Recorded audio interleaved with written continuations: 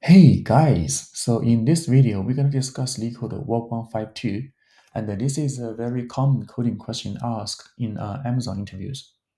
So for this problem, we're going to be given three arrays, username, website, and timestamp.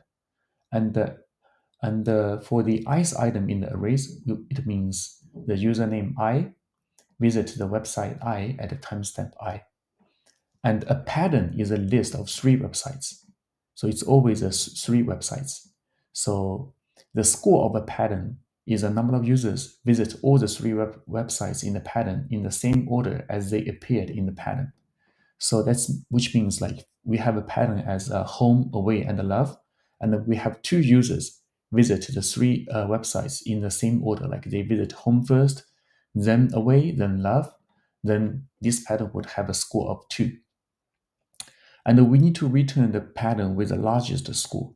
And if we, if we have more than one pattern with the same largest score, we just find the one with the uh, lexico lexicographically uh, smallest one.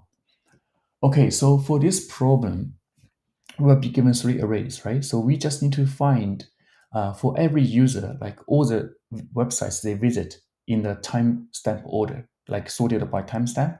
And then we can find all the patterns the user can have, and then we can just get the scores, uh, get the pattern, like get the scores for each pattern, and then we can find the pattern with the largest score.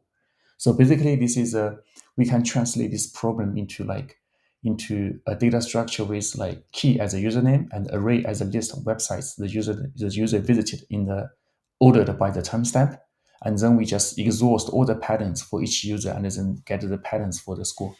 So yeah, so let's code it out. So the first step we need to do is like we need to find the sites visited by each user. Okay, so what we can do is like we can maybe store it in, a in a uh, in a variable called records So this will, and every item in the record would have each item in the array would be um, username, maybe timestamp, sort I timestamp, timestamp, username, and the website. So what we can do is uh, for i in range of the answer username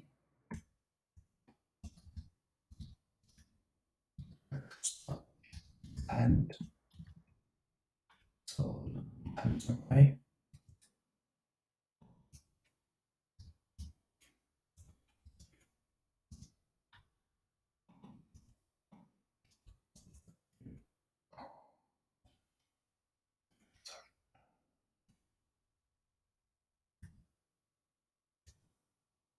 username i and the website i.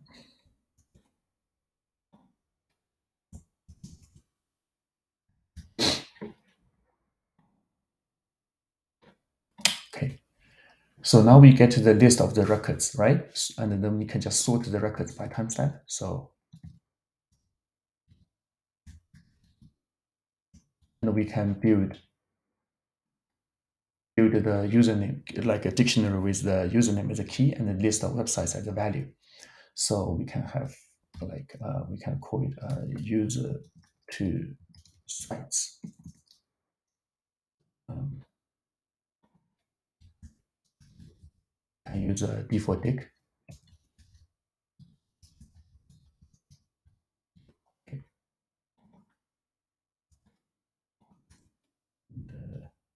The, value would be a list. All right.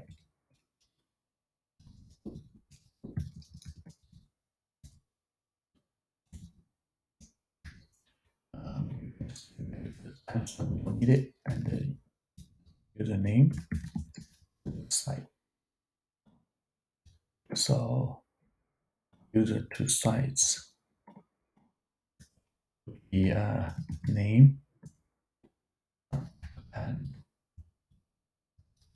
all right. So now this user to site is what we have. So which is the username as a key and the sites as a value. So now we need to uh, exhaust all the patterns for each user so that we can get the um, we can count for each pattern we can have the counter so okay so we need to, we need the helper function here. Uh, gem patterns input will be the sites. So what this function does is like mm, mm, it would be um, get all the patterns from a list of sites. Okay, so for user and sites in user to sites of the items, we can lay all the patterns we can get patterns it would be uh, M patterns from the sites. Actually, we don't need the user here.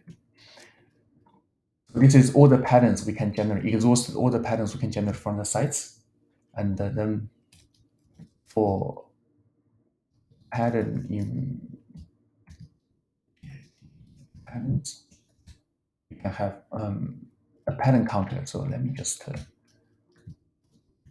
pattern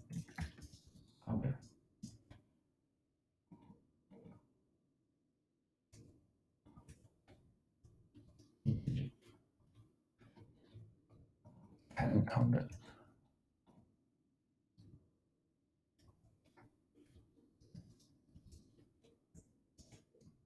Incremented by 1.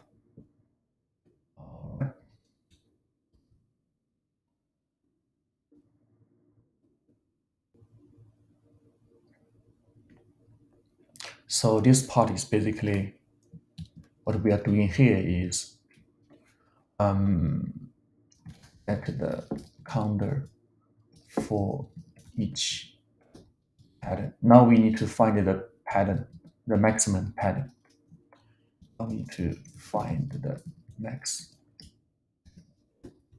pattern. So um, maybe let's say max counter we can just uh, initialize it to the minimum value. All right, and the max pattern. This is a pattern we need to return. None for now. Right, so we need to have four pattern and the pattern counter in uh,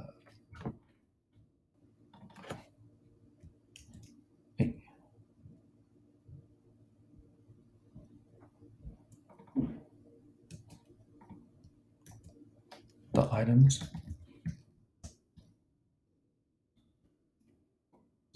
Count in items. So if counter is larger than the max counter, then max counter would equal to counter and the max pattern would equal to pattern.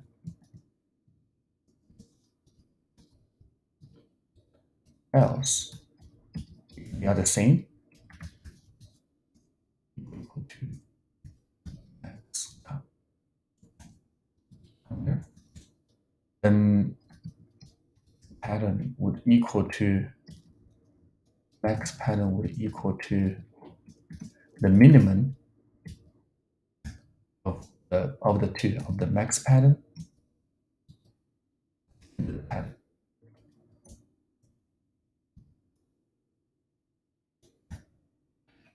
Uh, simply return the max pattern. Now we need to implement function to generate all the patterns from the sites. So basically, uh, let's have uh, as a set. We need to make it a set because um, in the sites, like the, the user may visit uh, the same uh, website, like at a later time, maybe like the user visits like home, away, love, and then visit home again. So like that's why we need, have, need to have a set because um, the user may have the same pattern like twice. The same user may have the same pattern twice. Like the user can visit home away love and then home away love again. That's why it's a set, and this is what we're gonna return. So um, it would be uh, n would be the length of the site. We just need to uh, loop through like the have a like three uh like a three level of loops to get to the three. Sites. So for i in range of uh, 0 to n minus 2, and for j in range of i plus 1, so j will be the second site we need to pick, n minus 1. And for k in range of j plus 1, so this is third, third site we need to pick to n. All right. And so just add uh, sites i, j, k.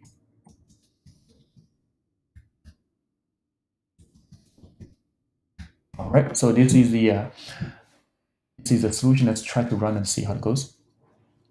Yeah, it's good. It's good. So basically, like uh, this question is not that difficult. Basically, we just need to uh, find the user to sites uh, dictionary, and then we just for all for all the sites the user visits, we just get all the patterns the user have, and then we just like uh, generate the counter pattern counter from that, and then we from the pattern counter we just get the maximum counter uh, maximum pattern. All right, so this is the uh, end of the video, and I'll see you guys in the uh, next one.